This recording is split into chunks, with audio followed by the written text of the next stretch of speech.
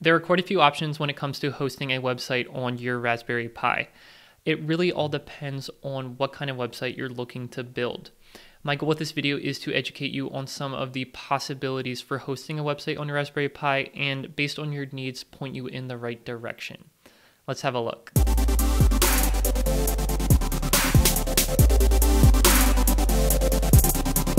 First thing that you need to understand with hosting a website on Raspberry Pi is the fact that you are most likely running a Debian-based operating system. This is true if you're running Raspberry Pi OS or Ubuntu. But what does that actually mean and what advantage does it give you? Well, because you are running a Debian operating system, you can pretty much do anything that you can do on Debian or Ubuntu on your Raspberry Pi. So when looking for a website tutorial online, the tutorial does not have to be specifically about a Raspberry Pi.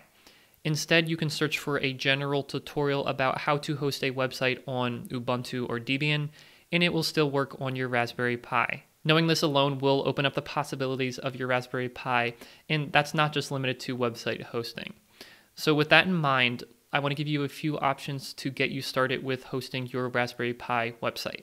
If you're starting from scratch here and don't already have an operating system installed on your Raspberry Pi, I recommend following my tutorial on how to set up your Raspberry Pi. So the first thing you want to do is to install a web server on your Raspberry Pi. Regardless of what type of website you end up making, you will need a web server to manage the incoming page requests and generate the appropriate responses.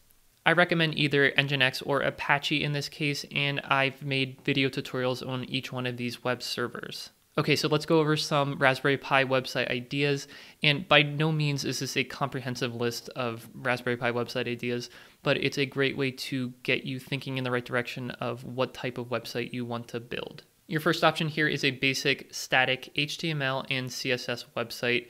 And this is a great way to learn the fundamentals of websites if you're not already familiar. The next option is a dynamic PHP website. If you are already comfortable with HTML and CSS, you can make your web pages dynamic with PHP. Because PHP is a scripting language, you can, for example, insert and retrieve information from a database, whereas this is not possible with HTML alone. The third option here is to create a blog with WordPress.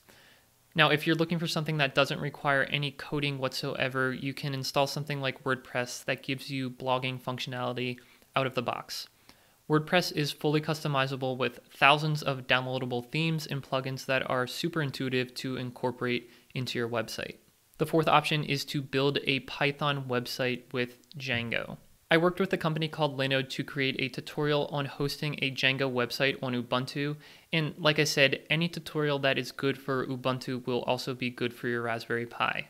Now that you have a basic understanding of your options for hosting a website on your Raspberry Pi, I suggest that you first start out by setting up your Raspberry Pi like we do here, and then proceed to install a web server on your Raspberry Pi like we do in this video, which will teach you that as well as hosting a static website with HTML.